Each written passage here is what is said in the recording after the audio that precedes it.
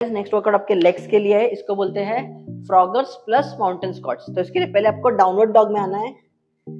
Press your heels down knee हल्का सा bend jump forward to frog frog में आना है। प्रॉपर हाथों के बाजू में पैर। Then jump back to downward dog again इसके बाद माउंटेन स्कॉच करना। यानी हिप्स आपके काफ को टच होंगे। हाथ वैसे ही रहेंगे। हाथ कानों के अंदर लॉक अगेन आप वापस डाउनवर्ड डॉग में आ गए। अगेन सेकेंड ट्रिप के लिए jump forward to frog jump back downward dog में आना है माउंटेन स्कॉच एंड